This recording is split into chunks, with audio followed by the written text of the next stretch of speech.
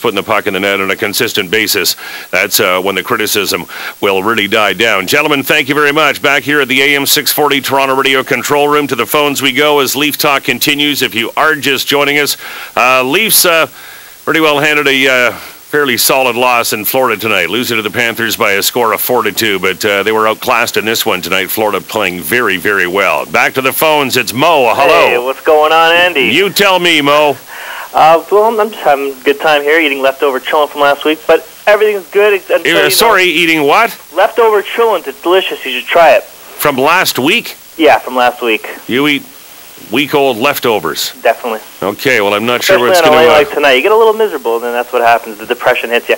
Anyways, no, I'm sorry. I'm not so bad. Go ahead. Anyways, I don't know if I'm just puck paranoid, but it seems to me that the, the ice in Florida is a bit off. Like last night and tonight, I saw so many missed swings from both teams. I'm not sure if it had an effect on wins and losses because the Leafs did win last night, but perhaps Florida, the state, is a bit more used to having to learn how to control the puck that constantly bounces. That's why the home team has to just hold them, like Paul Maurice alluded to earlier. You know, it just seems like the, the puck jumps around more when, it, when you get over to Florida. Is it me? Am I crazy? They were mentioning... Well, uh, what are you surprised that there's bad ice in Florida? No, I'm not surprised. I'm saying maybe it's to their advantage. Maybe uh, Florida and maybe uh, Florida State and Tampa Bay, they they both have an easier time trying to control that thing. Then that's why It's like a home ice advantage because of the ice. kind of something like. Is it me? Am I crazy? Do you not notice? this? No, I think that was the case uh, both tonight and in Tampa Bay last night. Don't you remember back about 10 years ago, all those rats being thrown on the ice and how the rats would bounce around? Right. I'm 26, but yeah, for sure. Yeah, that was the first tip that the ice in Florida is not good. Uh, maybe something wrong with the ice in that drink you're having tonight, Mo, as well. Enjoy your uh, week old leftovers. Up next, it's Keith. Good evening.